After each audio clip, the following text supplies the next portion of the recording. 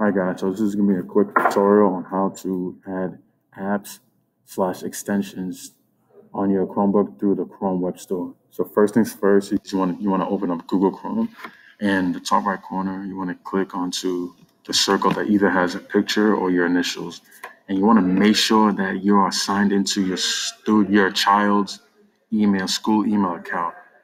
And it's gonna look it's gonna be very similar to mine, but the only difference is their email will have at bpsstudents.braintreeschools.org. Um, if you don't see that, that means you simply just not. That means you simply just have to add their account. I added a link on the tutorial on how to do so, which is this very simple It's hidden. the add another account and just typing in their email and password. So once you're signed in, what you want to do is go up to the top left where it says apps, hit apps, and hit web store.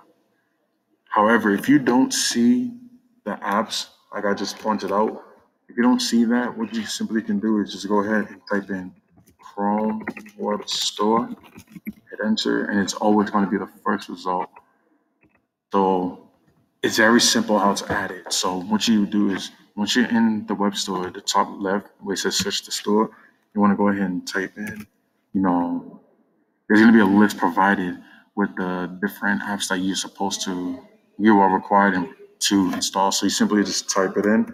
So I'm gonna do one for um, a random one, for example. So I hit, I type in the word uh, Kami, and then once you see it here, you want to hit Add to Chrome.